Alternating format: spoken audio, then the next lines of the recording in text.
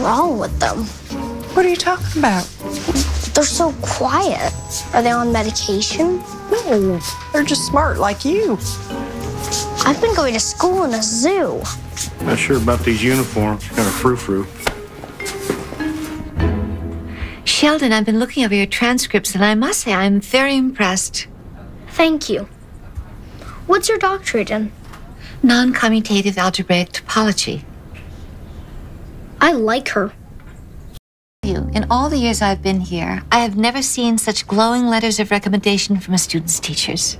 Well, that's real nice to hear. Now listen to this. Putting aside his superior intellect, Sheldon is a delight to have in the class.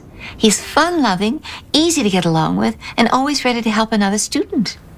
That doesn't sound like me at all. Sure it does, sweetie. Dr. Douglas. Oh no, please call me Flora. Flora, I have to ask about the living arrangements. That's our main concern. Well, I think I can reassure you about that. My husband and I have been hosting a student for the last several years who recently graduated and is now at Princeton. So we have a guest room available in our home. Well, that's very generous of you. Is your husband work at the school also? No, he's retired. He was an astrophysicist for NASA. Please tell me you don't have a dog. No, we're both allergic. I'm tingling.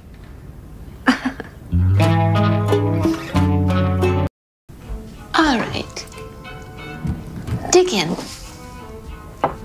Excuse me. Aren't we going to say grace? Uh, we don't do that in our house. Oh, But you're welcome to do so. that's all right. I don't believe in God. Well, then why would you say grace? Because it makes my mom happy. And why are you wearing mittens?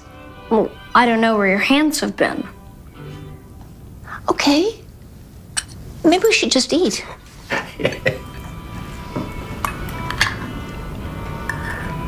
Do you like string beans?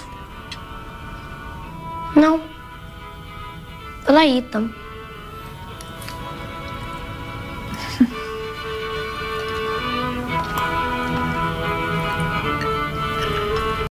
Sleep didn't come easy that night, knowing that at any moment I could be decapitated. And as if that wasn't bad enough, the bed in my room had a dust ruffle, which to my young mind only meant one thing there was dust. But eventually I did drift off, haunted by the memory, the three of us, gathered around the piano, singing hippie folk music. You will not see